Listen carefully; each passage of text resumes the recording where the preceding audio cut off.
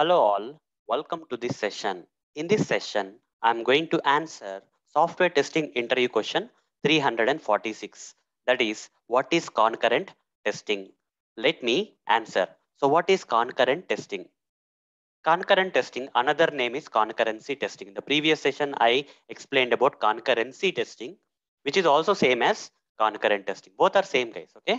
In either in concurrency testing, concurrent testing, we do the same thing, okay? Is performed to find the defects in the software which results when multiple users are using the same functionality of the application at the same time.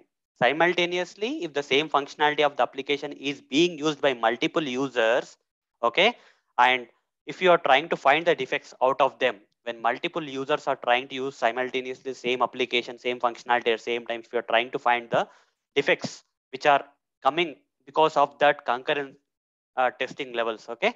Is called as concurrent testing okay? So example.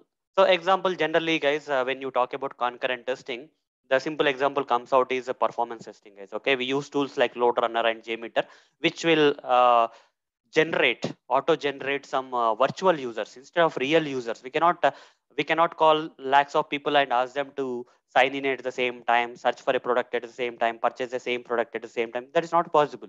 So what we do as part of software testing in performance testing engineering is we use some tools like load runner JMeter. What they will do is okay we just have to enter the number of users and this tool will simulate the real users in terms of virtual users. And these virtual users are going to perform some action on the application. Maybe searching for the same product on the application like thousand thousand users okay? At the at the same time have to search for a product on the application.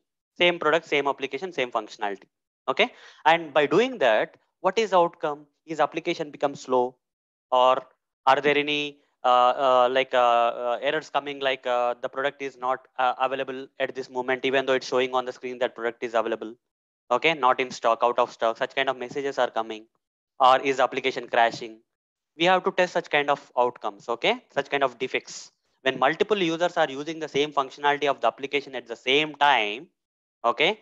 And if you are getting any defects okay? If your intention is to find some defects when multiple users at the same time uh, they're using the same functionality of the application that testing is called as concurrent testing. It's also called as concurrency testing also okay? This is one of the example so hope guys you understood what is concurrent testing in this session. So that's all for this session. In the next session, I'm going to answer another software testing interview question for you. Till then, see you. Bye bye.